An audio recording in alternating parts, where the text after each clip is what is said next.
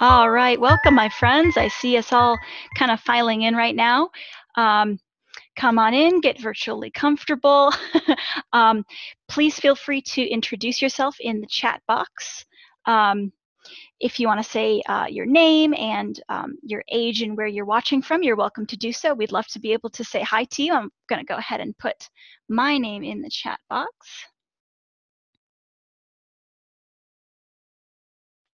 There we go. So uh, feel free to introduce yourself so we can say hi. Um, then we'll, we will, uh, as we're kind of giving people a moment to file in, we'll kind of talk about um, our behavior code, then we'll get right into the lab. Just gonna give everybody another moment or so. Hi there, Strider. Hi there, Will and Miriam. I'm excited too. Hi, Ruby and Dot. And hi, Michelle and Raina. Really glad to have you guys here. This is going to be really fun. This is this is one of my favorites. I feel like I probably say that for all of them, but it really is one of my favorites. Hi there, Lucas. Hey, Abby. All right. Hi there, Maya. We are really glad to have you guys here. Um, let's go ahead and we'll just we'll just kind of get started here. Um, as always, our, our learning process uh, here is all about respect, respect for ourselves, for each other, and for our world. Um, and we ask all of you to show respect uh, as well by using kind language and appropriate words in the chat box, um, as this is a program for everyone. My friend Max is moderating the chat and can disable the chat function for individual users uh, if that's needed. Um, I don't think it will be needed. But uh, all of that said, it is okay to disagree and share your feelings. We welcome all ideas that are founded in respect and invite everyone to do the same in this online space. So um, hi there, my name is Peregrine, like the falcon, and uh, this is today's Lab at Home Live with the Museum of Life and Science. Um, when we have the lab on site at the museum, um, we encourage our learners to lead with their questions and ideas, but it's a little bit harder to do in this virtual space. Um, I'm still gonna ask you all plenty of questions, and I hope you will share your ideas uh, and your own questions as much as possible uh, in the chat box. All right. Oh, and, and we had some other people filing in. Hi there, Matthew and Paige. Hi there, Lily and Mia. Hi there, Julian and Daniel. And hi there, Manny. So what I'm going to do is I've got all of, I've kind of got all of my supplies here, and I know that some of you will be doing the lab along with us uh, at home. Hi there, Annika. So um, would you guys let me know if you are doing the experiment along with me? I would just love to know. It's okay if you're not, or it's okay if you're going to try it after uh, or later, but I would love to know if anybody is doing it along. Oh, that's great. We have at least, we kind of have at least two people, three people, more. Oh, that's great. That is so much fun. All right, so we'll tell you a little bit about the materials that we need, kind of the topic that we're going to be uh, talking about. Let's start. Let's start there. Um, uh, the topic of today's lab is um, plastic. Specifically, we're going to be talking about bioplastic, but we'll back up a little bit to talk about what exactly plastic is first. So I bet you guys have already used plastic today. I know that I have. Um, can you go ahead and tell me what do we think plastic is? Or just an example of something plastic? What do you think? I've got a few examples right here, but I'm going to give you guys just a minute. So what do we think plastic is? What does it make us think of? Do we know what it's made of? Very nice. We're thinking a plastic bottle, a milk bottle, certain kinds of toys. Yep, plastic bags. I have a plastic bag right here. This is just kind of a, a clear zipper bag. It's very flexible. It's uh, see-through. It's waterproof. Uh, what else do I have? I have just kind of, this is an old like uh, lotion bottle that I have. I've got a cup I have got, um, this is my yogurt cup that I used this morning. It had yogurt in it, now it no longer has yogurt in it. So um, all of those things are made of plastic, right? That and much, much more. Um, and uh, it's all while it's all made out of plastic. It's made out of different kinds of plastic right? Or, or uh, plastic that's made out of similar things but processed in different ways. Um, because all of these have pretty different properties. That's one of the things about plastic right is it can be very rigid it can be used many times um, it can be very flexible and maybe only used a few times um, or of course there are plastics that are single use right? Um, so how can we find what type of plastic something is? Do you know? There's, there's some certain materials um, that list what type of plastic they are. Do you guys know where to find that information? Yeah, look at the recycling code, exactly. So if I look at the bottom of uh, this lotion bottle, it's a, it's a number two. And that's actually interesting because this is uh, also, the Ziploc is a number two plastic. So these are really, really different products, um, but they're both made of essentially the same type of plastic. I think that's really interesting. So we know that there are uh, different, I'm going to move that out of the way a little bit. We know that there are different types of plastic, but and sometimes that it's made of slightly different things um, or just processed in different ways. Do we know in general what typical plastics are made of? What do you think? What is your, your typical plastic made out of, like this one? Do we think it's plant? Do we think it's a mineral? What do you think? Yeah, yeah, exactly. So uh, typical plastics come from uh, from oil, from petroleum oil. So they are petroleum-derived plastics. Used to be dinosaurs. Thank you, Max. Um, so uh, all of these different materials, so, so many materials in our lives are made out of this uh, resource, but we know that um, it's, first of all, a non-renewable resource, uh, petroleum is, and uh, that also uh, processing it, acquiring it uh, is it can, can be harmful to the environment. Is harmful to the environment, right? So uh, the other thing about it is um, once we've made it, it's it's kind of stuck as it is, right? I use this yogurt cup one time, right? Um, but it's going to remain a yogurt cup for a really, really, really long time, or it's going to remain this material for a really long time, right? Uh, things that are organic, were once uh, or are currently alive, can biodegrade. They can break down in the elements, right? They can just kind of um, become uh, the, the common materials, uh, uh, the common materials of life again, right? But if we have something plastic, it's gonna kind of remain plastic uh, for a long time. Even if it's broken down into tinier pieces, it's kind of in our environment and it's a source of a lot of pollution, right? So uh, what I want us to be thinking about today is uh, maybe plastic made of something else. And is it possible? What do you guys think? Do you think that we could make plastic out of anything else? Well, we're going to be talking about how to make a form of plastic out of milk. Uh, and to kind of talk, uh, talk more about that, explain that, we're going to go back to what a plastic is. We know that it's made from oil, uh, from petroleum oil, typical plastics are. Um, and they're a type of material called a polymer. So a polymer is an arrangement of molecules, the little teeny, teeny, tiny things that make up everything. And they're a type of molecule that likes to link together and they can be broken down using certain means uh, and rearranged in certain ways. So a lot of plastics you can, uh, in many cases, heat them up and they'll be sort of a moldable, flexible uh, sort of uh, consistency, and then they can uh, be formed uh, more rigidly and they can be something like this cup, right? This is not a very plasticky cup, or rather a very liquidy cup. Um, because it was molded and then the, the uh, plastic became this rigid material. So we know that plastic has to be polymers and not all polymers have to be petroleum based. So we're going to be talking about how to get a polymer out of milk. Let's get to our milk. So I've got my milk right here in a carton. Um, I'm using skim. You guys can use whatever type of milk you want. I figured using skim uh, means that there's kind of uh, more of the material in it per volume uh, because if we have milk with fat in it, then the fat takes up more of the volume.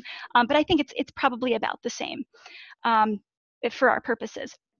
So we're going to need milk for our experiment. And I've got about a cup of it here. Um, there's something in the milk that we're going to take out.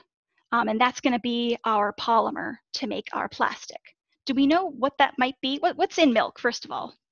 I'm going to look at the ingredient list. It just says milk. so the stuff inside of milk, we know that there are fats, there are sugars, there's dairy, exactly, it's a dairy product, right? Um, and there's also protein. If we look on our ingredients, or rather our uh, kind of nutritional information list right here, it says protein. This has eight grams of protein per serving. Protein is another example of a polymer, a natural polymer. Um, we can get it from many sources, including uh, plant-based, uh, plant-based, uh, animal-based. Uh, in this case, we are using um, uh, we are using an animal-based dairy uh, protein, and it's called casein. So we're going to get that casein, and I'm actually going to. Oh, actually, we already said it here in the in the chat. That's great. So that casein protein is what we are going to extract and we're going to use as our polymer. Uh, to do that, we're going to have to do some things to the milk, right? We have our cup of milk here. You can use a little bit less or a little more if you want, but this is what I'm starting with, just a cup. And to begin to extract that casein from it, I'm going to start to heat it up. So I have my little microwave here. And I'm going to go ahead and heat it up for, um, you can do it gradually, but I'm just going to do it kind of all at once here because I've tested this before. Um, we're going to do it for a minute and 30 seconds. So I'm going to get that started. Whoops, I'm going to get that started. There we go. All right, so that's heating up. I'll tell you what else we're going to be using. Um, we've got that cup. I'm also going to be using a thermometer, a digital thermometer, to help me figure out the temperature because it works best at certain temperatures, and we'll talk about that in just a minute. I've got a bowl and a strainer in case I need to strain my materials once I've extracted them. I've got a spoon for stirring. And finally, I have got um, some acids. I've got some regular kind of household acids. One of them is vinegar and one of them is lemon juice. Um, if you guys are doing this along at home, uh, are, do you guys want to tell me which acid you're doing and I'll do whichever one you are? Are you using vinegar? Are you using lemon juice? Are you using something else? Just let me know, and that's the one I'll use. Um, we've got a question here about can we use almond milk? That's a really good question. There are so many uh, like plant-based milks. Um, for this one, we do have to use dairy because we're looking specifically at the casein. I know that there are some plant-based milks that still have protein in them. I'm not really sure of the specifics for extracting those proteins. Um, so for, for the purposes of this experiment, it does need to be dairy milk. All right, so we've got white vinegar, vinegar, vinegar, vinegar, lemon juice, vinegar. It sounds like most of us are using uh, vinegar, which is fine. I have used both. I used these when I was testing it yesterday. I used uh, lemon juice when I was testing it yesterday, but I will use vinegar for these purposes. Um, for a cup of milk, I'm going to need about four teaspoons. Four teaspoons of my acid, and we'll see if my uh, milk is at the right temperature for me to add it. So what I'm going to do is I'm going to switch cameras. I'm going to switch to the experiment cam here. There we go. So as you can see, my milk is steaming a very little bit. I'm going to see if it's the right temperature. Uh, the temperature range we're looking for is about uh, 120 degrees Fahrenheit to 140 degrees Fahrenheit. That's kind of ideal. I'm going to see if I can find the temperature here. So I'm at about about 140, 144, um, about 150. So I'm going to let it cool for just a second. Um, it's probably okay if it's at about 150, but if it's much higher, that uh, if, if it's much higher than 140, um, we don't get as good a yield, meaning we don't get as much uh, casein out as we might like. So I'm going to give it a little bit of a stir. That's a great way to get something to cool down. Another great way to get something to cool down substantially would be to pour it from one vessel into another. But since ours was only a little bit too hot, I think that that might work for us. So I'm getting my milk to the right temperature. I'm going to check it again. And this is saying about 130, 136, 140. That's about perfect. So I've got my milk at about, uh, about 140. It's not super hot, it's, it's just warm, it's steaming very slightly. And I'm going to go ahead and add my acid. Um, just like you guys are, most of us here, I'm going to use, um, I'm going to use four tablespoons per cup. That's our approximate ratio. You know, you can add a little bit more, but we want probably at least uh, uh, four tablespoons per one cup. I'm going to go ahead and add it here dump it here. That's two, three. I'm going to see if you guys can see what's happening on the cam. All right, there's my four tablespoons. And what I'm going to do is I'm going to start, ooh, I'm to see if you guys can see this. Maybe it's a little bit hard to see, but there's already some kind of uh, separation happening. I'm going to stir this up really well and give it just a minute to work. And if you're doing this at home, tell me what you might be noticing. Or what you see on the cam. What do you see? Do you guys see that? Whoa, look at that separation. Wow. What is this stuff? It is kind of frothy. And, and look at this. What is that? it's separating and, and, maybe it has kind of a funny smell. Yeah, I, I, personally am not a huge fan of the vinegar smell. That's not my favorite smell. Um, so it is a bit is a bit strong for me. Um, it is sticking. Yeah, it's sticking, and look, it's kind of almost stretchy. I know um, some of us uh, may have uh, kind of less of something that's stretchy and more of just kind of small clumps uh, or curds. This is in fact the, the curds, whereas this is the whey, as in uh, Little Miss Muffet's favorite breakfast food, curds and whey. So that we have this separation happening, and what I'm going to do is uh, strain some of it out, or actually it's kind of stuck to my spoon, but we'll go through the motions of it just in case that's what you guys need to do. It is kind of like, it's like melted cheese. It looks kind of like that. It looks like slime. That's a great uh, observation. It does kind of look like that. Um, and, and that would probably because a lot of types of slime, especially like uh, borax and glue, uh, that's another example of a polymer. And this is in fact a protein polymer, this casein. So I've kind of strained it out a little bit here.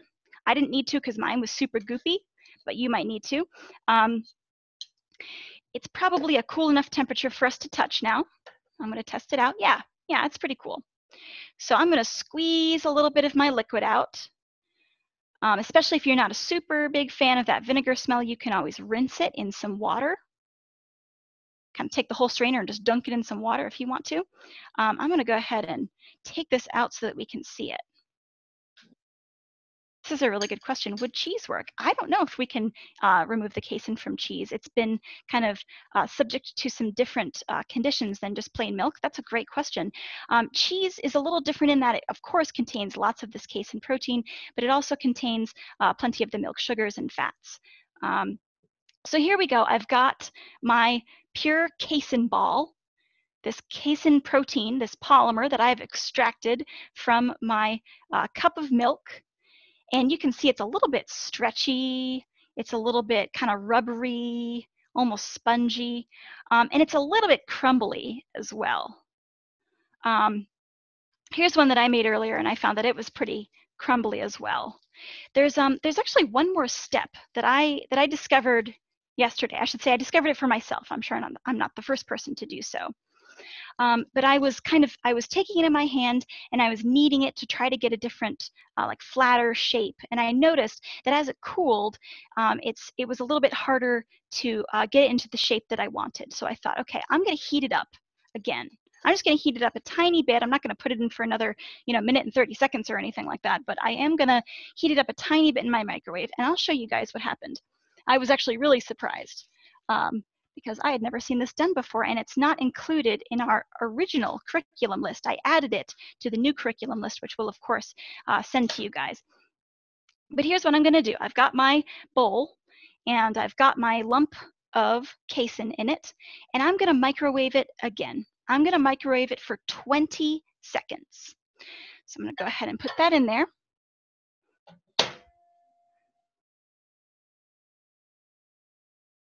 All right, while that 20 seconds is going on, I might quickly switch my video here. There we go. So, um, and I'm not really sure, to be honest, which uh, uh, kind of setting my microwave is on. I didn't set it to, you know, full power or half power. It's just kind of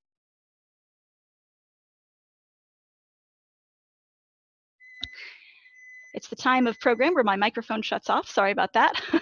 I was just saying that um, it's just on the setting that it that it comes on automatically. Um, I just kind of had tested it before and knew that with this particular model, uh, a minute and 30 seconds was what I needed to get the right temperature. So I have taken out my bowl and you guys can see this. Oh, I'm actually going to go back to my experiment cam so that we can see. Um, if you are following along at home, this stuff is very, very hot. Look at this. Remember how it was a ball before? Now it is like this flat shape. I'm actually going to take my spoon because this is very hot. And I am going to scrape this off a little bit. Look at how kind of stretchy it is now. Whoa.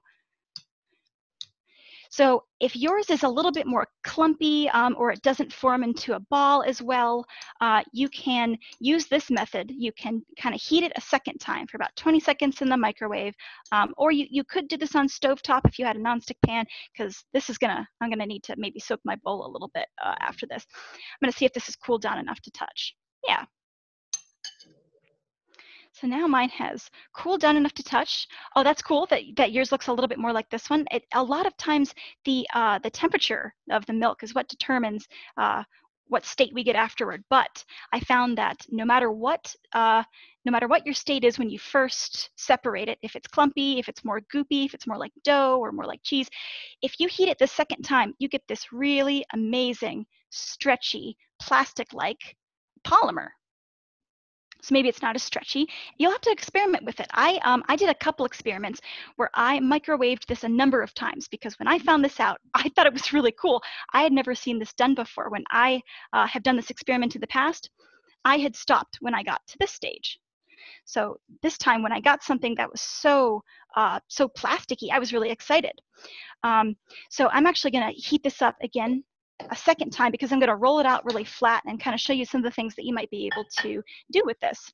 So I'm going to heat it up again. Um, I'm not very long, just about 10 seconds this time. And I'm going to get out a little bit of parchment paper because I want to try to roll mine out really flat with a rolling pin. This is a really good question. Is can you eat it? So um, we don't generally encourage we don't generally encourage um, eating our experiments except for sourdough of course uh, because that's meant to be food.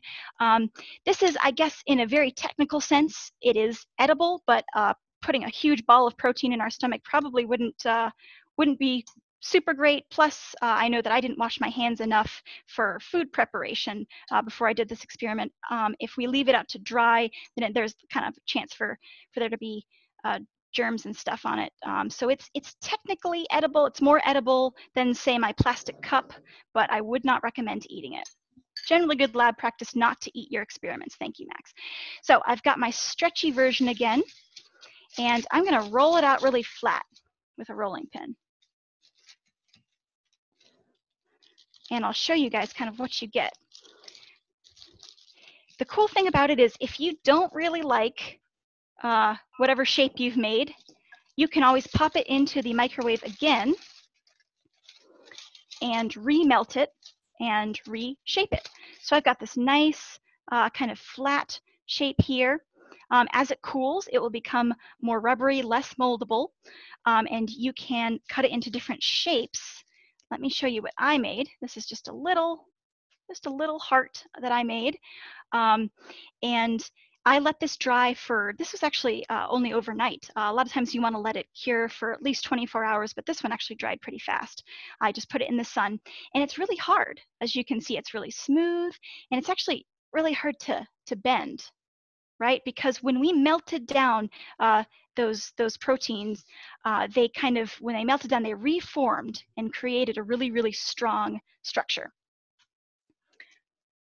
So we have a comment, ours still looks like ricotta cheese. Do we need to keep microwaving? That might be a good plan. Go ahead and maybe give it a good stir and give it another microwave and see what happens. Um, I can always see, because this one is still cottage cheesy, I can always kind of do your experiment along with you and see what happens. Oh, maybe the type of milk did affect that. That's a really interesting question. Um, possibly it's that there is still some milk fat um, and, and some of the milk sugars attached to your curds. So you could give them another rinse uh, and see if that affects anything. The great thing about science is it's all data. That's one of my favorite things to say. Whether it works, quote unquote works, or doesn't work, it's always it's always information.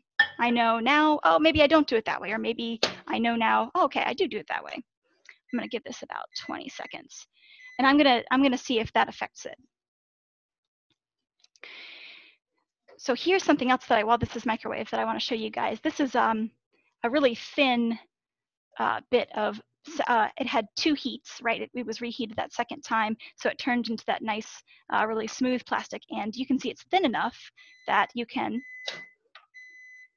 see uh, behind it. All right, here's what I got. All right, so this one did manage to melt. And we'll see what happens when I stir it up again, if it kind of turns into curds again or if it will be nice and stretchy. But I liked this one because it reminded me of my plastic bag. So I'm kind of stirring it up a little bit. I'm noticing that this one um, has more liquid. So maybe it did have some more of those uh, kind of milk fats and milk sugars in them.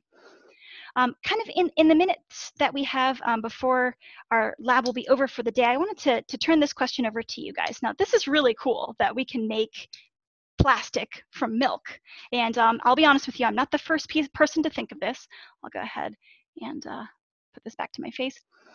Um, milk plastic uh, was marketed as, it's called Galalith, and I'll put that in the chat so you can look it up. Galalith um, is made much the same way, uh, but it's also tempered with uh, formaldehyde, which, long story short, is kind of a, a, chemical that I don't particularly want to be using in my home, so I'm not going to be able to do that part of, uh, of the process. But that's uh, how it was used and kind of made to be more like waterproof and more heat resistant.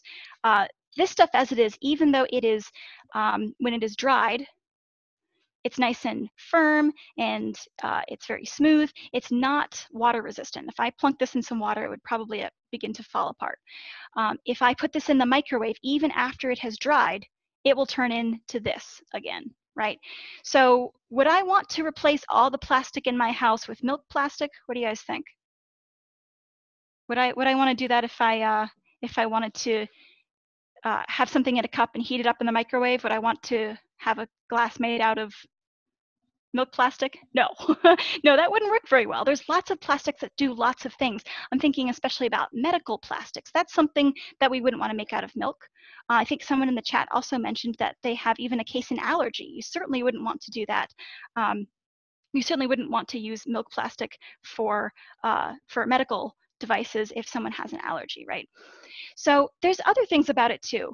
Um, it's amazing that this is not only not made from petroleum, um, it, it also has the property of being biodegradable. So if I take this big lump and I toss it out my window, and I give it, you know, maybe a few weeks, the rain hits it, the uh, animals get to it, um, rain gets to it, sun gets to it, all that stuff, uh, it will start to kind of break down. Just like we were talking about all organic things do. Of course, this is organic, so it will break down which is pretty cool.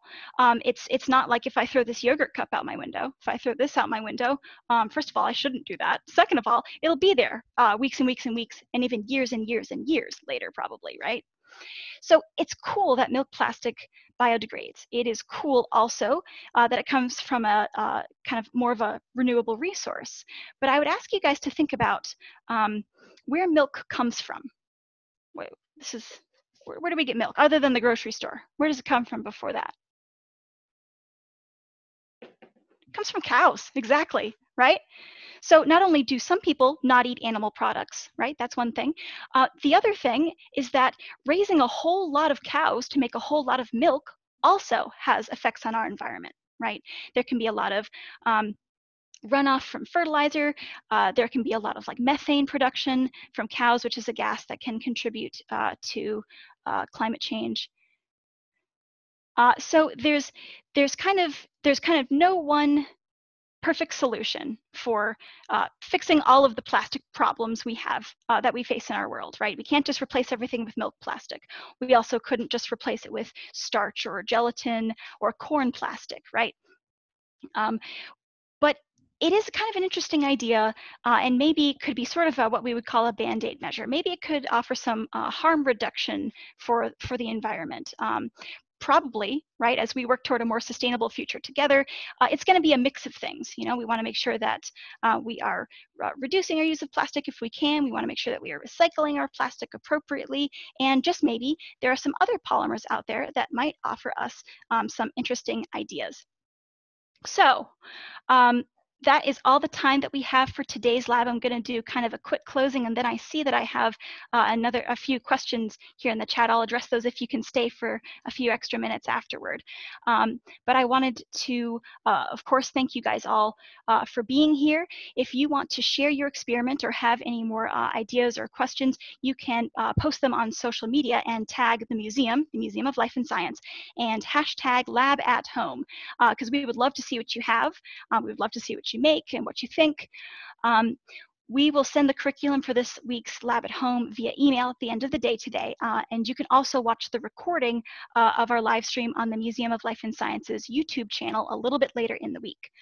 Um, I hope you guys will join us again next week. Uh, we have labs every Wednesday at 10 a.m. and 2 p.m. Uh, you can register on our Life and Science at Home page. Uh, I'll have Max put that in the chat here. You can also get that link through uh, member tips by email or by subscribing to the Life and Science at Home page. I hope you guys will join me next week uh, where we are going to be looking at acidity and using different household products like fruit juice and yellow highlighters to try and uh, see if we can figure out what household items are acidic versus alkaline. So thank you so much, uh, everyone, for being here. I'm going to see if I can address this, uh, this uh, comment really quickly. Uh, we said someone who said, um, our experiment was a total fail. Failures are great. Failures are data. It's great to have that information. Uh, this person tried lemon juice and apple cider vinegar with skim milk, just two cups of bad smelling liquid. That's really interesting. Uh, and then uh, we have someone else who mentioned uh, that they had a fail with apple cider vinegar too. It might be the level of acid. I wonder if there's something else uh, in it that that kind of prevents the the formation of those curds that's that is really interesting. I would love to look that up and see and see what that might be about. Um, do you know what the if you're still here? Do you know what the temperature of your milk was? Were you able to kind of pinpoint that, or were you kind of guessing on that one? Because because sometimes it has a lot to do with that. First attempted learning as kind of a I don't think it's a euphemism. I think it is a true way to talk about failure. Exactly. I think it is uh, the best way that we learn. One of the best ways that we learn. So maybe it's a little bit hard to pinpoint that temperature. Um, I would say maybe see, uh, maybe do some uh, experiments on a smaller scale. Like instead of doing a full cup at a time, you can always try just doing maybe a quarter cup and then just doing one tablespoon of your acid. Um, and microwaving that maybe for different amounts of time and seeing which one works. Um, because if we can't pinpoint the temperature, we can at least pinpoint the time. That's something that we can we can see on our microwave. Um, if you can, I would love to know what happens with that. I would love to know uh, what you guys end up finding. So please do, if you if you would like, uh, post that on social media and tag the museum and lab at home because I I'm really interested in seeing. Thank you guys uh, all so much. Um, for doing these experiments with us, for having these really great questions and ideas, um, and thank you for sharing in the future. I'm going to go ahead and have uh, Max end our webinar here, but I look forward to seeing you all later. I hope I'll see you guys next week.